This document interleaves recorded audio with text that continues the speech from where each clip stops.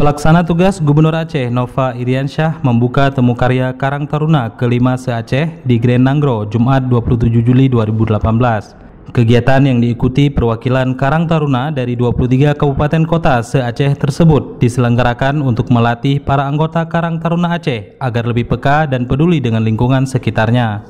PLT Gubernur Aceh Nova Iriansyah dalam sambutannya mengatakan keberadaan Karang Taruna perlu diperkuat Sebab menurutnya selain bermanfaat bagi pengembangan potensi pemuda, Karang Taruna juga dapat memperkuat kesetia kawanan sosial agar semangat tolong-menolong menjadi identitas masyarakat.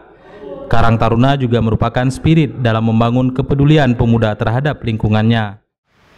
Indonesia akan meraih bonus demografi antara 2030 sampai 2040 pada saat-saat itu kader Karang sedang berada di puncak suksesnya. Kader Karang sedang berkibar-kibar dengan jayanya.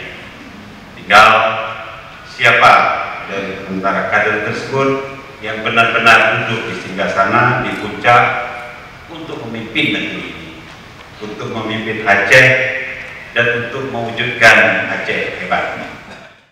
Lebih lanjut Nova menegaskan selama kegiatan berlangsung para anggota Karang Taruna diminta berdiskusi dan berbagi pengalaman tentang penguatan lembaga dan membahas berbagai isu lokal khusus yang berkaitan dengan peningkatan peran pemuda sehingga forum ini dapat menjadi momentum untuk meningkatkan peran Karang Taruna di masyarakat dan bersama-sama mewujudkan Karang Taruna Aceh yang mandiri berkarakter untuk menuju Aceh hebat.